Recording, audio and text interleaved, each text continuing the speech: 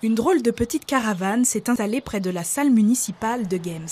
À son bord, Maxime et Erwan, ils font partie de la compagnie théâtrale La Rurale. Leur objectif, collecter les témoignages des habitants pour l'élaboration de deux spectacles. Maxime interroge Hélène qui vit et travaille à Games. Euh, je voulais qu'ils aient la même... Euh, personne qui tenait ce café faisait énormément pour le village. Il organisait la fête des moissons. Il était fort euh, dans tout ce qui était comité des fêtes. Et quand il est, malheureusement, quand il décédé, tout s'est éteint. Les gens ont été super curieux de demander mais qu'est-ce que c'est que cette caravane? Puis je trouve ça bien d'aller chercher les gens et de, pouvoir essayer de faire un truc euh, tous ensemble. Quoi.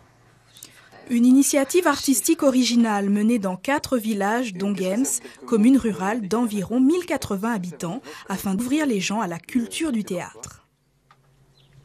Ici, on n'a pas d'espace, on n'a pas de lieu, on n'a pas de théâtre où les gens peuvent nous rencontrer. On va y aller, nous, à la rencontre des gens, et on a choisi une caravane. Donc on y fait des interviews principalement. Donc on essaye de rencontrer des gens et on pose des questions sur leur commune et sur la ruralité aujourd'hui. Un projet qui crée du lien social et qui rapproche les gens autour du théâtre et du divertissement.